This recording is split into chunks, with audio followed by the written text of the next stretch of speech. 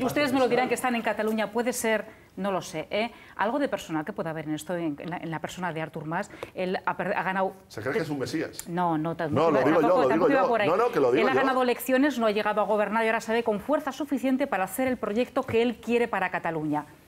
Puede ser ahora por eso el Ar- momento. Artur Mas, desde el 11 política. de la oportunidad política para hacer lo que él quiere. Artur Mas, desde el 11 de septiembre, que le salió muy bien, la- se, se desbordó la manifestación del 11 de septiembre, eh, se cree que es un mesías. Yo creo que esto es que va a llevar. ¿Lo no, no? No no, no, pero con absoluto respeto, lo digo con respeto, pero No, se no cree, no, no, pero se, se- se cree que es un mesías que tiene que llevar a todo el pueblo catalán hacia la independencia, que es lo que Pero busca la tú- inmensa no, no, mayoría. es que cuando Pero dices esto, respeto, tratas de pero- tontos a no, mucha gente. No, no, yo Como no si fueran trata- ratitas que van Mira, siguiendo flautista de Amelie. eh, Yo yo, no trato, yo desde mi primera intervención he tratado con absoluto respeto Hombre, y le he dicho a las personas que creen en la independencia como su modelo.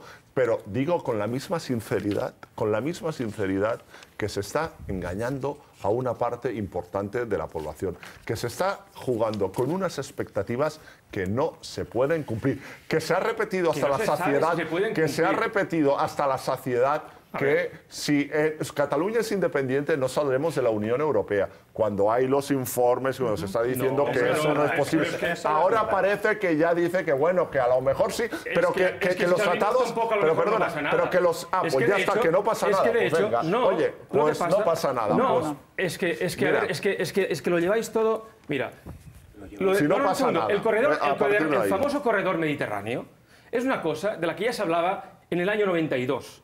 Y, y se- y ahora, la gente, digamos, ahora es de, de- de patrimonio común, todo el mundo, digamos, ha oído hablar del corredor mediterráneo. Pero había catalanes y había estudiosos y había gente en, en el mundo político que ya estaba hablando del corredor mediterráneo en el año 92, como, como plan estratégico económico que Cataluña tenía que seguir.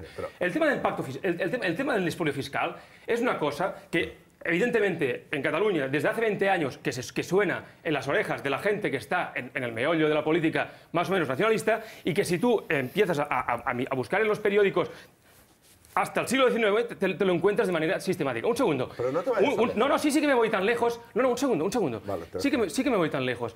Porque lo que no puedes decir es que lo, lo que ha pasado es que sencillamente la comedia, porque no una comedia, la comedia autonomista ha llegado a su tope, ya no da para más. Y como no da para nada más, sencillamente la gente y un, un segundo y como, y como, no un segundo, un segundo. y como además y como además en Europa, ¿no? Europa está digamos débil, Europa está débil. em, la, la- la mili, digamos, está... Y esto es una tontería, pero la mili es importante. El ejército no tiene el papel que, que- que tenía hace 10, 15 años. Solo hace- hace 10 años, solo hace quizá 7 años.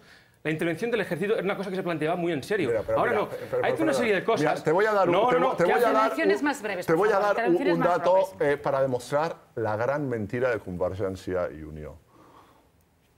Durán Lleida, que es el presidente del comité de Convergencia y Unión, eh, que es el socio, eh, el socio de Artur Mas, salió la semana pasada, perdona, no hace un año, la semana pasada diciendo, Durán Lleida, que eh, sería perjudicial que Cataluña fuera hacia la independencia, que la mayoría de catalanes no quieren la independencia.